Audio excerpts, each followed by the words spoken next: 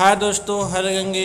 उम्मीद है आप लोग घर पे होंगे, सेफ़ होंगे, सुरक्षित होंगे। दोस्तों, आप देख सकते हैं माँ गंगा की तेज धाराएँ का आगमन हर की पौड़ी में हो चुका है और काफ़ी तेज वेग से बह रही हैं और साथ साथ आप देख सकते हैं काफ़ी संख्या में वृद्धि दिखाई दे रही है श्रद्धालुओं की और काफ़ी लोग डुबकी लगा रहे हैं। माँ गंगा में आस्था की आप देख सकते हैं, काफ़ी ज़्यादा श्रद्धालु है। ये आपको मैं हर की पौड़ी का दृश्य दिखा रहा हूँ, दोनों तरफ़ का घाट के।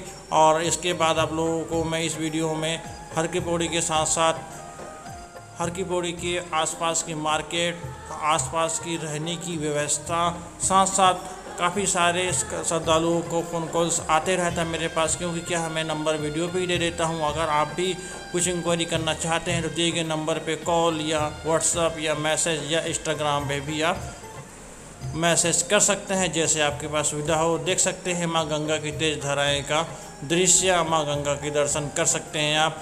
आप चलते हैं आज की अपडेट की ओर। तो मैं अपडेट सबसे पहले आप लोगों को माँ गंगा की दर्शन कराने का था, वो तो मैं करा दिया हूँ। साथ साथ अभी और देखते रहिएगा, दर्शन करते रहिएगा। साथ साथ मैं आप लोगों को मार्केट का भी दृश्य दिखा रहा हूँ। मार्केट पूरी तरह से खुला हुआ है। हफ़्ते में पाँच दिन खुलने का है। आप देख सकते हैं, ये मैं एंट्री कर रहा हूँ हर की पौड़ी में। आप, मैं आप लोगों को मार्केट का भी दृश्य दिखाऊँगा यहाँ से। जिससे आप लोगों को आसानी होगा समझने में। आसपास के मार्केट पूरी तरह से अभी खुला हुआ है।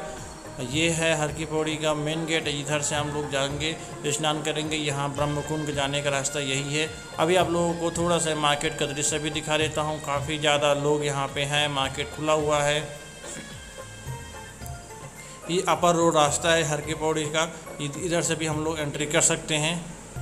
ये देखिए बारिश हुआ है, रात के समय बारिश हुआ था सुबह सुबह में और ये अभी तक पानी यहाँ पे ठहरा हुआ है बारिश का। ये है काफ़ी ज़्यादा श्रद्धालु यहाँ पे पूछते थे कि भाई आप नई घाट का दृश्य दिखाओ। तो देखिए नाई घाट का दृश्य, काफ़ी सारे नाई बैठे हुए हैं, आप देख सकते हैं, ये सुबह सुबह का दृश्य है और काफ़ी ज़्यादा भीड़ भी है और ये भीड़ लगी हुई है खाने के लिए। काफ़ी सारे श्रद्धालु खाना खिलाते हैं। कोशिश किया हूँ मैं इस वीडियो में आप लोगों को सभी तरफ़ का दृश्य दिखाने का, जिससे क्या है, आप लोगों को आने में आसानी हो और समझने में आसानी हो। और देख सकते हैं, काफ़ी ज़्यादा श्रद्धालु आज दिखाई दे रहे हैं। और सबसे ज़्यादा आप लोगों को अस्थि विसर्जन करने वाले ही दिखेंगे। अस्थि विसर्जन यानी नए घाट में काफ़ी ज़्यादा भीड़ होता है। अभी आप लोगों को मैं आगे की ओर आगे की ओर दिखाता हूँ, जिससे क्या है, और आसानी से समझने में आपको आसानी होगा। ये देखिए, सभी तरफ़ आप लोगों को भीड़ ही भीड़ दिखाई देगा। ये माँ गंगा की तेज धाराएँ काफ़ी सुंदर प्रतीत हो रही है देखने में। दोस्तों, अभी मैं आप लोगों को मार्केट का दृश्य कुछ दिखा दिया हूँ, कुछ और दिखाने वाला हूँ, जो हर की पौड़ी के सबसे पास का मार्केट है। अभी देखो सुबह सुबह सब, अब ये ओपन हो रहे हैं शॉप वगैरह, और काफ़ी अच्छी सुंदर दृश्य यहाँ पे दिखने को मिलती है मार्केट का। और जब भी अब आएँ तो ये मोती बाज़ार मार्केट है और यहाँ पर ज़रूर घूमें आप, ये आपको हर की पौड़ी के पास ही मिल जाएगा। और ये सुबह सुबह की है, इस सुबह काफ़ी सारे शॉप भी खुले नहीं है, और काफ़ी सारे अभी खुलने वाले हैं, और खुल रहे हैं अभी भी।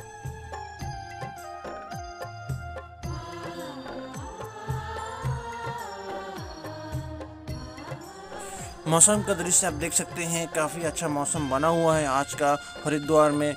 मौसम बारिश वाली लग रही है, लेकिन बारिश नहीं होने की संभावना भी है, क्योंकि धूप भी आ गया है। और आप देख सकते हैं काफ़ी ज़्यादा श्रद्धालु हर की पौड़ी के नए घाट में आपको नए घाट के दोनों ओर आपको देखो स्नान करते हुए देखेंगे। साथ साथ नए घाट का दृश्य देख सकते हैं काफ़ी ज़्यादा भीड़ तो यहाँ होती है क्योंकि यहीं पे ही अस्थि विसर्जन होता है और काफ़ी सारे श्रद्धालु यहाँ पे स्नान करते हैं। ये आपको हर की पौड़ी का दृश्य दिखा रहा हूँ और देख सकते हैं हर की पौड़ी में आ, आपको थोड़ा जुम्मन दिखाना चाहूँ तो वहाँ पे कितना ज़्यादा भीड़ लगा हुआ है आप देख सकते हैं। ब्रह्मकुंड के पास महिला घाट है, वहाँ पर महिला घाट बोलते हैं उसको, जहाँ पे काफ़ी ज़्यादा श्रद्धालु स्नान कर रहे हैं। और ये है हर की पौड़ी के बाद वाला घाट, ये आप देख सकते हैं, सामने वाली घाट को काफ़ी ज़्यादा भीड़ आज के डेट में दिखाई दे रही है, आप देख सकते हैं। और अगर आप हरिद्वार आते हैं, अगर कार से या फिर आप कार से आ रहे हैं हरिद्वार तो आपको केवल केवल बॉर्डर पे थोड़ी परेशानी हो सकती है। ये परेशानी नहीं के बराबर होगी, क्योंकि क्या है, कभी चेकिंग होता है तो कभी चेकिंग नहीं होता है। मैं हमेशा से कहते आया हूँ, ऐसे घबराने वाली बात नहीं है। तो आप वहाँ पे आसानी से, या फिर बहुत सारे लोग तो बॉर्डर को स्किप यानी वहाँ बॉर्डर को शॉर्टकट तरीके से छोड़ देते हैं और आ जाते हैं। ऐसा भी हुआ है, काफ़ी सारे श्रद्धालु बताएँ तो ये भी कर सकते हैं, अगर करना चाहें तो ऐसे करने की ज़रूरत नहीं पड़ेगी, ऐसे कोई दिक्कत नहीं होने वाली है।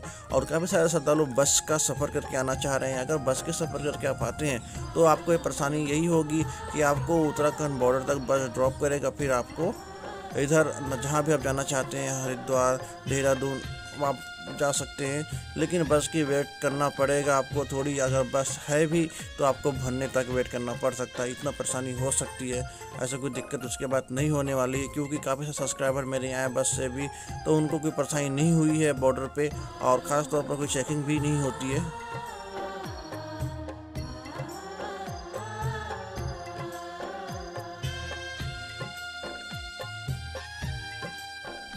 काफ़ी सारे सब्सक्राइबर ट्रेन से आने की क्वेश्चन कर रहे थे। मैं तो ट्रेन का वीडियो बना के ही आपको दिखा देता हूँ, जिससे कि आपको समझने में आसानी हो जाएगा। बूथ वहाँ पे लगे होते हैं और चेकिंग वहाँ पे एक परसेंट भी नहीं हो रहा है।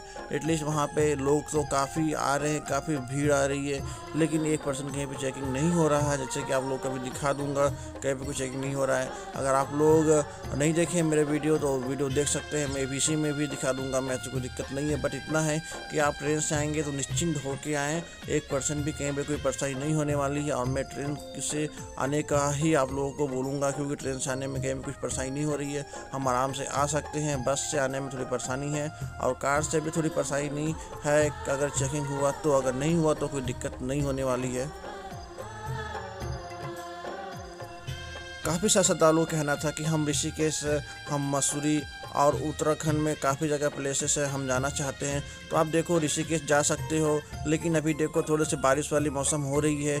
तो बारिश वाले मौसम की वजह से थोड़ा से ऋषिकेश, मसूरी नीलगढ़ महादेव के दर्शन करना, थोड़ा से परेशानी भरा हो सकता है, क्योंकि क्या है, देखो बारिश हो रही है और रास्ते बारिश होने की वजह से बंद हो जा रहे हैं। काफ़ी सारा रास्ता बंद हो चुका है, आपने शायद न्यूज़ देखा ही होगा। तो आपको ये बताऊँगा, अगर आप आना चाह रहे हैं हरिद्वार आएँगे तो कोई दिक्कत नहीं। हरिद्वार में क्योंकि क्या है, कोई पहाड़ नहीं उतना और ये मसूरी के रास्ते में आपको पहाड़ पड़ेंगी और आपको नीलकंठ महादेव के रास्ते में पहाड़ पड़ने वाली, जहाँ पे पहाड़ पड़ती है, वहाँ पे आपको परेशानी हो सकती है। ऐसा और कहीं पे कुछ परेशानी नहीं होने वाली है। तो आप देख लें, जब भी आना चाहेंगे तब आप मौसम का ध्यान रखें, उसके बाद आप टूर का अपना प्लान करें तो सबसे ज़्यादा अच्छा होगा।